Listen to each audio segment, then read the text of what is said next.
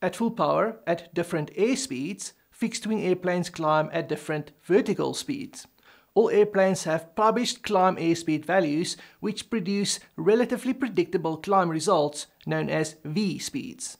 Climbing at different V-speeds also subjects the plane to different levels of risk, especially in the event of engine failure after takeoff, which we'll extensively cover in this video.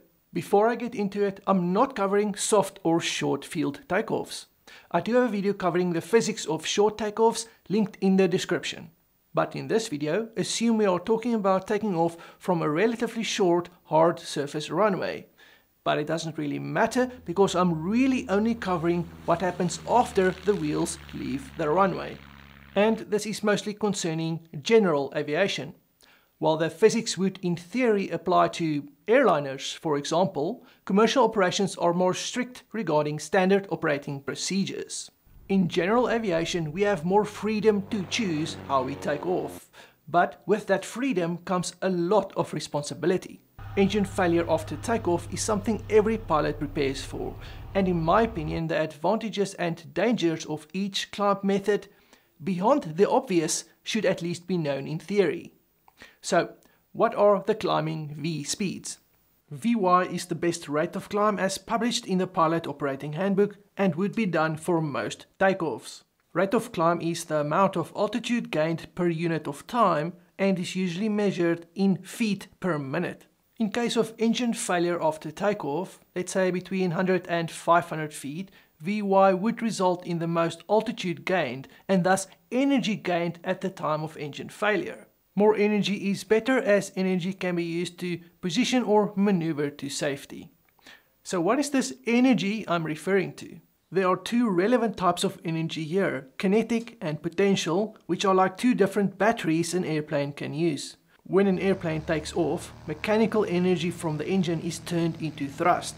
Thrust increases the speed of the airplane, which increases kinetic energy and as the airplane's altitude increases, its gravitational potential energy increases. Airplanes don't strictly need an engine. They need airspeed, which is kinetic energy. And when the engine fails, airplanes don't just fall out of the sky, as long as airspeed can be maintained.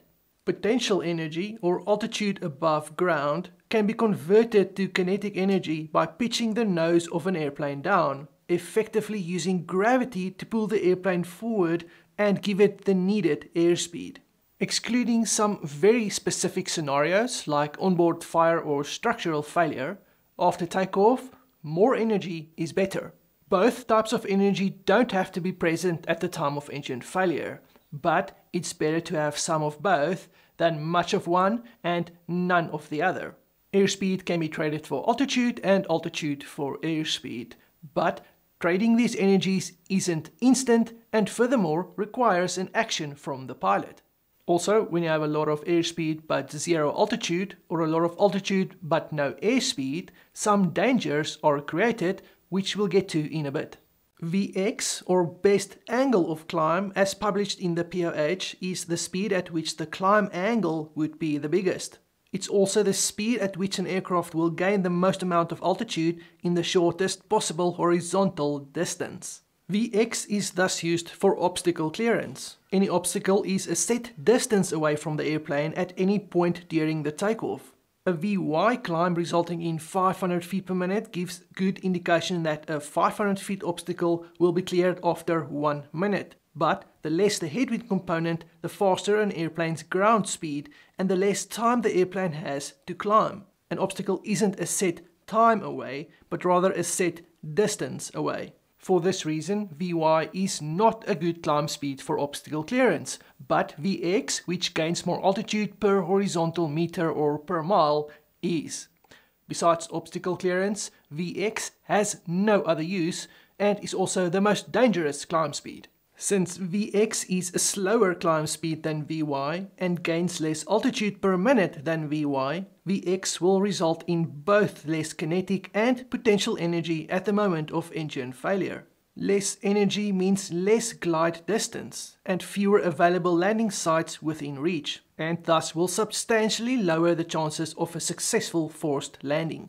Additionally, Vx is closer to stall speed than Vy and is usually slower than the airspeed for best glide, which is the airspeed resulting in the furthest glide distance without engine power. To transition from VX to best glide speed requires a deep nose down push, which results in a lot of altitude lost before gaining usable airspeed and below a certain height above ground at Vx it will be impossible to gain the energy required to flare or cushion the landing. Another disadvantage of climbing at Vx is engine cooling, especially for air-cooled engines. Climbing at Vx, the slowest of the climb speeds, the engine gets less air to cool it while producing full power. Prolonged periods of climbing at Vx could overheat an engine. And to add yet another disadvantage, in the case of unexpected engine failure, it usually takes the average pilot around 4 seconds for reality to set in before any action is taken. At VY, after 4 seconds there is usually enough time left to slightly let the nose down before airspeed drops to stall speed. But at Vx, after 4 seconds you are likely already in a stall before back pressure on the stick is relaxed, based on general consensus as well as my own testing.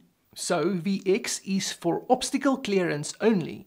And after clearing the obstacle, the pilot should immediately lower the nose to increase airspeed to Vy.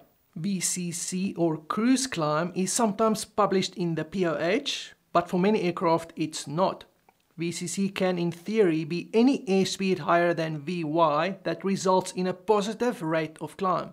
Since it's the fastest of the climb speeds, it's usually done to get to your destination faster, sacrificing some vertical speed for more horizontal speed. One advantage of the cruise climb is increased engine cooling.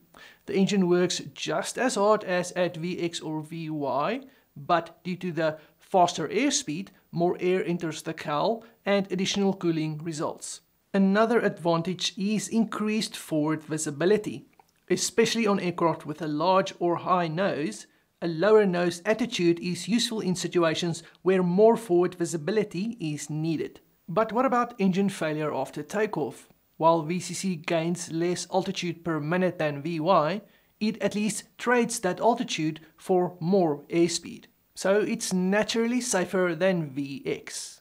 But compared to VY, which one reigns in safety factor? VCC actually has a small advantage. At the time of engine failure, the additional potential energy gained from Vy first has to be converted to kinetic energy before it can be used. An airplane needs airspeed to keep flying, which is kinetic energy. Potential energy is useless for a fixed wing aircraft until converted to kinetic energy, and the conversion requires an action from the pilot, who at the time of engine failure is likely in some level of shock, depending on the pilot. At VCC compared to VY, more of that potential energy is already converted to kinetic energy and is immediately available to use. So, am I saying that VCC is safer than VY in the event of engine failure? Here, the environment around the airfield will be the determining factor. If it's only farmland or open fields in all directions, then there really isn't much between VY and VCC. And VCC potentially has a slight advantage, as explained. But if it's a built-up area or a forest, for example, with perhaps only a few landable spots, then VY becomes safer.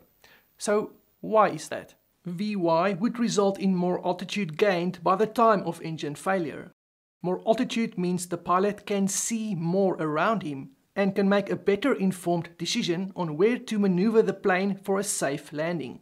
At the lower altitude of VCC, it would be more difficult to spot a safe landing site. In theory, the additional kinetic energy at VCC can be traded for potential energy, trading airspeed for altitude.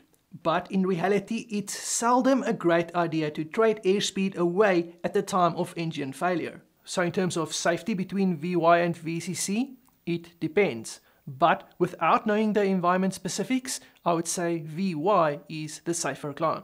And then we have the ground effect assisted climb, or VGEAC. Just kidding, there's no V speed for it, as it isn't technically a climb, but more of a way to build up energy before climbing. So more accurately, it's ground effect assisted acceleration. What is the ground effect? An aircraft flying in close proximity to the ground benefits from the ground effect, and this is because of how lift is created. Due to the difference in pressure above and below a wing, the wing goes up. And adhering to Newton's third law, if the wing goes up, air must come down. A wing thus displaces air downwards. But when this happens close to the ground, the air can only be displaced downwards until it reaches the hard surface and no further. Again adhering to Newton's third law, since air can't be displaced downwards any further than the immovable surface, the wing has to go up more, which increases lift. This is the ground effect and makes the wing need to go up more due to increased lift. But if the pilot instead lowers the nose, lowering the angle of attack of the wings and thus reducing drag, the airplane accelerates faster than it could out of ground effect. And as the airplane picks up more speed, it creates even more lift. Again lowering the nose, drag is reduced even more, further increasing acceleration. Ground effect is like real life cheat codes. Getting something for nothing. It's fast charging the kinetic energy battery, which isn't possible when taking off normally. The airplane thus ends up with an abundance of kinetic energy, which can be used or traded for potential energy. So, if that's the case, why isn't the ground effect used as standard for all takeoffs? as it will result in the highest total energy at the time of engine failure, beating VY and VCC. But the ground effect assisted climb has some limitations and dangers. Firstly, the ground effect assisted climb can only be used as long as there is runway left in front of the airplane. And when there are obstacles, the airplane needs to be lifted out of ground effect to clear it. The shorter the runway and the higher the obstacles at the end of the runway, the less ground effect can be used. Additionally, the ground effect also requires a focused and proficient pilot. As the airplane picks up speed in ground effect, flaps needs to be retracted before the plane exceeds VFE or maximum flaps extended speed, else the wings could be structurally compromised. Additionally, airplanes with fixed pitch propellers might need to throttle back to avoid exceeding max engine RPM. As airspeed increases, so does engine RPM. In ground effect, airspeed and engine RPM increases quicker than normal. But throttling back basically dumps excess energy instead of storing it, almost nullifying the use of ground effect. At this stage, it would likely be better to pull up into VY or VCC at full power than to stay in ground effect with reduced power. Airplanes with constant speed propellers benefit more in the ground effect as the prop governor will automatically make blade pitch coarser to maintain engine RPM. However, as a rule of thumb, ground effect is only usable up to half an airplane's wingspan above the runway. This means the airplane needs to fly very low over the runway, which requires full pilot concentration, especially in gusty and turbulent conditions. Getting a bit higher off the runway increases safety, but decreases the ground effect. It's worth noting that pilots sometimes use the quick acceleration in ground effect as a show-off maneuver, building up airspeed after takeoff and doing a pull-up at the end of the runway. But this is not the use that I'm advocating here. Pilots who only fly in the thick air close to sea level may never have had to use the ground effect. But taking off from high elevation airfields with density altitudes in excess of about 7,000 feet, using the ground effect is often required to increase takeoff safety. At high density altitudes, all naturally aspirated powered planes start struggling when loaded. Some low power planes even well below max takeoff weight. Using ground effect in these situations increases takeoff safety. So is the ground effect assisted climb then the safest climb to have done in the event of engine failure? I would say the answer is a big, definite, it depends.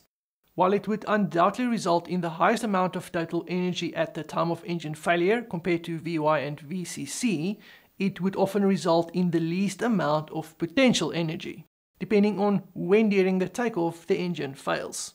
An engine failure at low level would mean little visibility, and potentially the pilot might not even see a great emergency landing site. So like the cruise climb, it would depend again on the environment around the airfield and how familiar the pilot is with the available emergency landing sites around the airfield. So there really is no best climb speed as it depends on factors like airfield elevation, airfield surrounding terrain, how powerful the airplane's engine is and how heavily loaded the airplane is.